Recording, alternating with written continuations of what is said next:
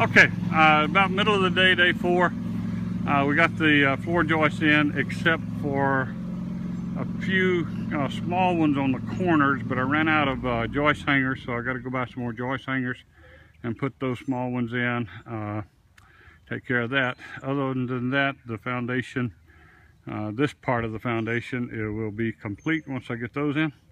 Also, it's about to rain, so may not get that done today, but we will get it done. And hopefully by next week, we can start putting the floor on.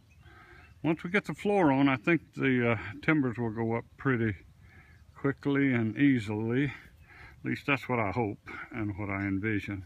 So we'll find out.